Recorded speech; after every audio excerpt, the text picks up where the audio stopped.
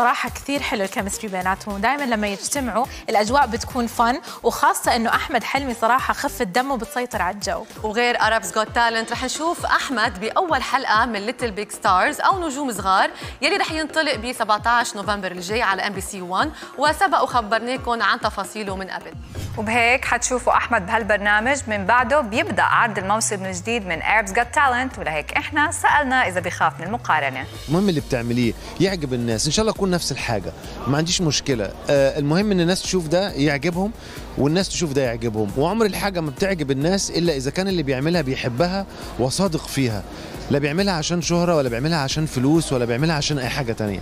أنا الحمد لله بحس كده في جوا نفسي وطبيعتي إنه أنا بحب شغلي آه، بدرجة كبيرة. لا عايز منه شهرة ولا عايز منه فلوس.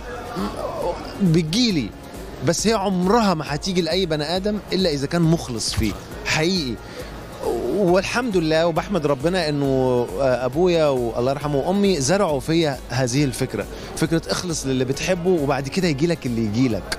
فأنا بخلص للي بحبه جه منه جه ما جاش منه ربنا عايز كده. بس فيا رب أنا أهم حاجة حقيقي مكسبي مكسبي مكسبي الكبير قوي قوي إنه أنا لما أقعد في قاعة سينما أو قدام شاشة تلفزيون مع ناس والاقي رد فعل اللي أنا عملته إن هم بيبتسموا.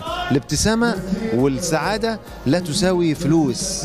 محدش هيضحك لك عشان أنت مشهورة ولا حد هيضحك لك أو يحبك عشان أنت معاكي فلوس. نو no واي يعني أنا أتخيل لو أحمد حلمي قدم ثلاث برامج بنفس الفكرة الناس حتضل تشوفه وتحبه لأنه هم أصلا مشتاقين له. ونحن كمان اشتقنا له ومثل ما وعدناكم رح نخبركم كل تفاصيل little big ستارز الأسبوع الجاي بعد عرض الحلقة الأولى.